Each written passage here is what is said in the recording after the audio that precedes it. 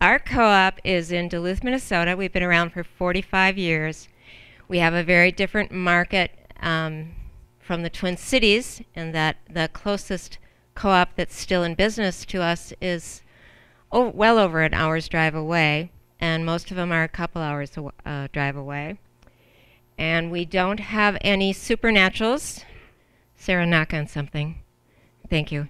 Um, yet, and um, but we do have Trader Joe's, or excuse me, um, Target and Walmart, and a very strong locally owned line of conventional grocers called Super One. And they do a very good job, and they just recently rebranded, and it did affect our stores in terms of um, they are doing a better job of selling our products than they used to. So um, when we look at competition, and we have been paying attention to competition because our customers keep telling us with smiles on their faces that Trader Joe's is coming to town, and they can't wait. And it's like, okay, yeah, thanks. Um, this is this is kind of what our mantra was, um, except maybe for the last one, which was just mine because of my age. But um, we knew we had to do something. We knew we had to start preparing.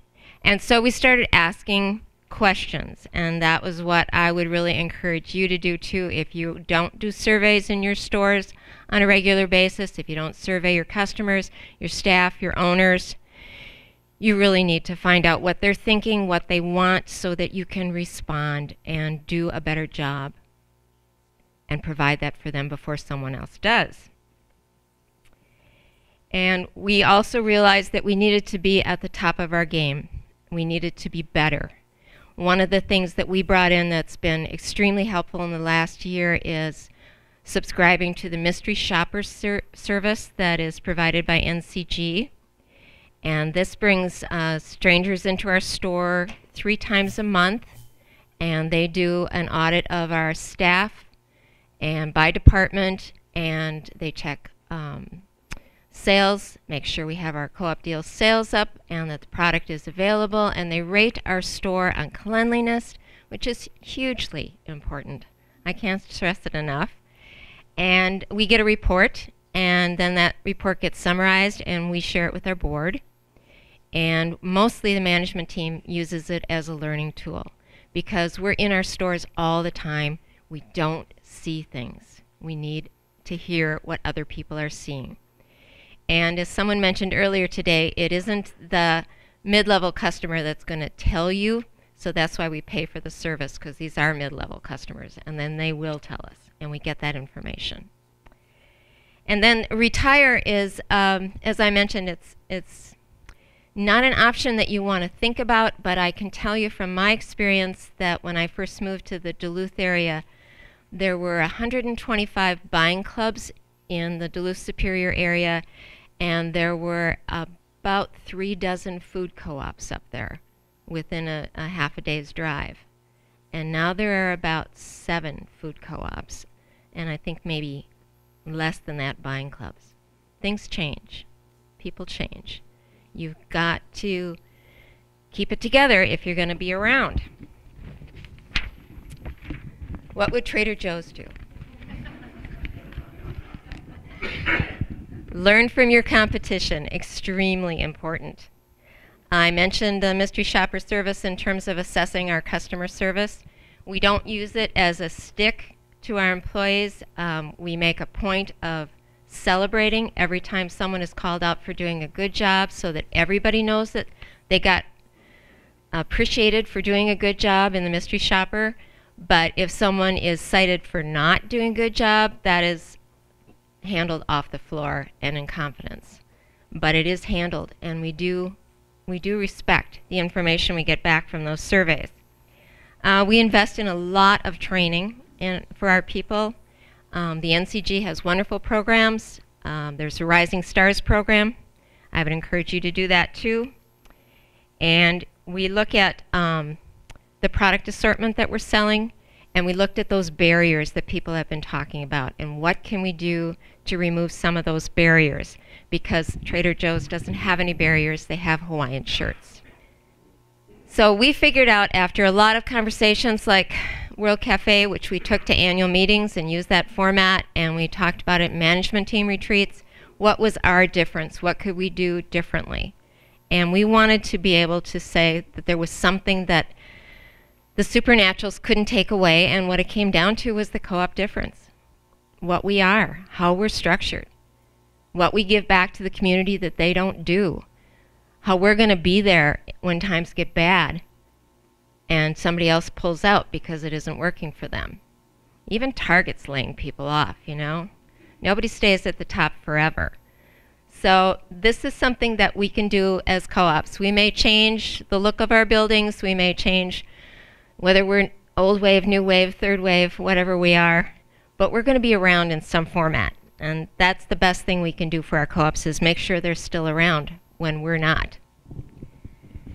Obviously, focusing on the co-op difference though was an easy thing for us to do because of our location. It's much harder to do when your major competitors are other co-ops.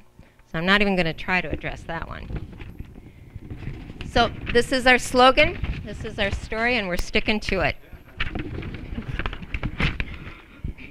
Sarah? I'm uh, Sarah Hannigan, the store manager at Whole Foods Co-op. I've been at the store for about a year and a half, and I don't come from the natural food grocery world or from um, the retail world either. Um, I've focused primarily on affordable housing, community partnerships, sustainability, environmental initiatives, and the likes. And um, coming into our co-op, I was able to offer a, bit of a new eyes and a, a fresh perspective. Uh, Whole Foods Co-op's been around for 45 years, and we've you know, been quite successful in our community. Our growth trajectory is similar to the one that was up on the, uh, the slide earlier um, with Seward Co-op and many of the growths that you've seen in your stores. Um, we are looking to continue to grow in all the ways that make sense, and that isn't always sales growth. Um, as Sharon mentioned, the community piece is a big piece of what we do, and we can't do it all. So one thing that we focus on is community partnerships, and we've got community partnerships that help us promote sustainability, local farming, healthy lifestyles, and jobs training in our community. Um, we also, as Sharon mentioned, really take the, the information that we get in our surveys to heart. Our um, Mystery Shopper provides great information, and I think that those mystery shoppers likely shop at conventional grocers and other typical retailers in our community. So they often give us really high marks for customer service, and it's really great to see that. But it also, I think, is something that we need to we need to look at those high marks and not just pat ourselves on the back, but think about how we can do even better because it is that customer service that sets us apart. Um, one thing coming into a new environment uh, in a store, not having come up through the ranks like many of our of our staff have, is we got hit. I, I was hit often with the question or the statement from staff. Well, we've always done it that way.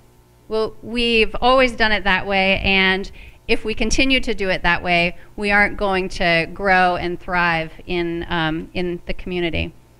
Um, we have been hemmed in in this space. We met, our, met our capacity uh, just this past year, and right after we announced that we were building a second store, we initiated a remodel of our store, of our existing store. And we had a number of customers say, and owners say, why are we why are we remodeling this store and not working on working towards the second store? And we were doing both because we knew that in order to stay relevant, we needed to freshen our surfaces. We needed to essentially make hay while the sun shines and um, do the best we can to continue to be fresh, continue to be relevant, continue to serve our community. And um, we didn't change our footprint at all, but we changed all of the surfaces in our store. And I think one of the best compliments that we got from many people was, wow, you widened the aisles we didn't widen the aisles. Uh, we put in new flooring, we took down soffits, and we made a space that was originally designed to be a, a sort of small and, and, cozy space, an expansive space. So you can grow within the same footprint. And I just want to say thanks.